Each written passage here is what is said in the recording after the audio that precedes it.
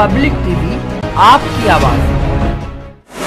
पूर्व प्रधानमंत्री भारत रत्न अटल बिहारी वाजपेयी की जयंती पर भाजपा ने गाँव से लेकर शहर तक जगह जगह कार्यक्रम आयोजित किए। कटघर मंडल के द्वारा भी कार्यक्रम का आयोजन किया गया। सभी ने अपने विचार व्यक्त किए। विचार व्यक्त करते हुए वक्ताओं ने कहा कि अटल जी विराट व्यक्तित्व के स्वामी थे। 50 वर्ष के संसदीय जीवन में आलोचक भी उनका सम्मान करते थे। विपक्षी पार्टियाँ भी उनसे प्रभावित रहती थी। कार्यक्रम में अतिथियों ने कहा कि अटल जी सभी के प्रिय थे, वो भाजपा के संस्थापक अध्यक्ष रहे। कार्यकर्ता उनके जीवन से प्रेरणा लेकर आगे बढ़े। कार्यक्रम में पहुँचे अतिथियों ने अटल बिहारी वाजपेयी के जीवन पर प्रकाश डालते हुए कार्यकर्ताओं से उनके बताए मार्ग पर आगे बढ़ने का आह्वान किया। सभी ने अटल जी के चित्र पर पुष्प अर्पित कर कार्यकर्ताओं ने श्रद्धांजलि अर्पित की। इस अवसर पर कटघर मंडल के सभी पदाधिकारी और कार्यकर्ता मौजूद रहे। इस हिंदुस्तान का को एक उज्जवल भविष्य देने वाले हिंदुस्तान के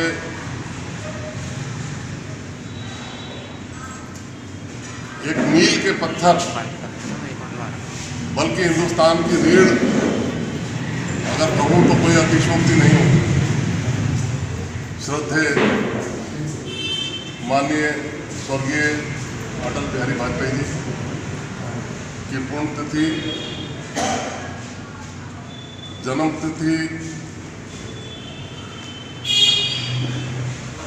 जो कुछ भी कहिए, सब कुछ समग्र है। मैं उन्हें नमन और प्रणाम करते हुए अपनी बात को आगे करना चाहूँगा। आदरणीय बड़ी बहन मदालसा जी,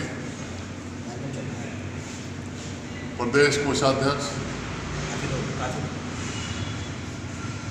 हमारे बहुत ही जुझारू मंडल अध्यक्ष आदरणीय अरविंद जी। मेरे भाई, छोटे भाई, सर्वेश जी, मोर्चे के अध्यक्ष चंद्र प्रजापति जी, बॉबी सक्सेना, राजेश सूर्या जी, आदरणीय बंसल जी, सुजात अली जी मेरे भाई और आदरणीय रूप किशोर जी और मैं ने अटल जी को मेरा सौभाग्य है मैंने पार्लियामेंट में बोलते हुए देखा है। दीर्घा में बैठा था मैं दो घंटे के लिए, वहाँ पे शायद आपको पता होगा। पास बनते हैं, दीर्घा में बैठने के लिए 96 वाली बहस चल रही थी।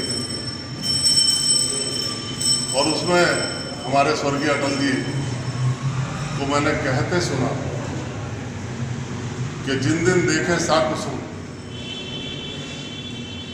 गई सुबीत बहार। अब वाली रही गुलाब में अपत कटी नहीं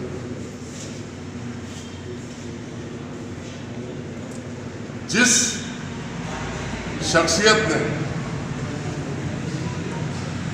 प्रेम की अनुभूति कराई हो,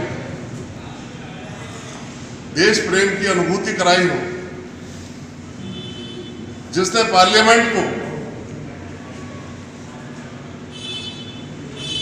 ये बताने की कोशिश की हो कि हमारा भारत क्या है?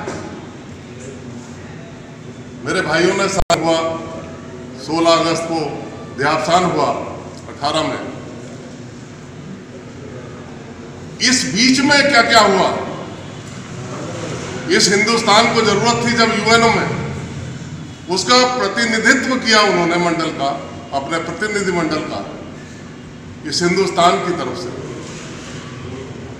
ऐसा कोई भी अभी तक विदेश मंत्री ऐसा नहीं हुआ।